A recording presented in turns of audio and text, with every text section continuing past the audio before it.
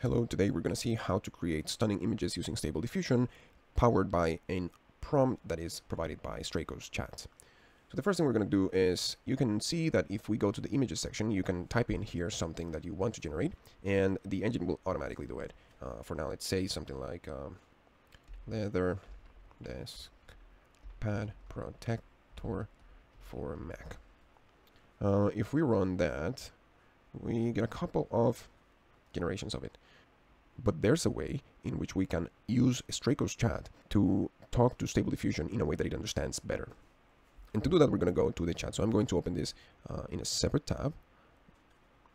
And what we're going to do is we're going to use one of the tools here. You can see that in the image prompting tools, we have here create a prompt for stable diffusion. So we're going to pass in an idea. Let's use the same idea that we have here. We're going to copy that.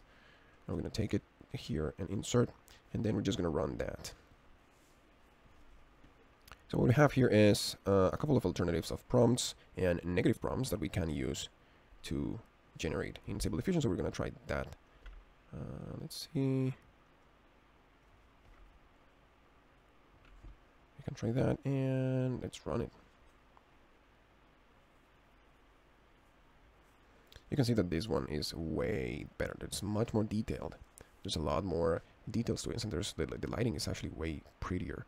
Um, so you can see that the results are fairly better with the prompt and negative prompt that is being created by the chat.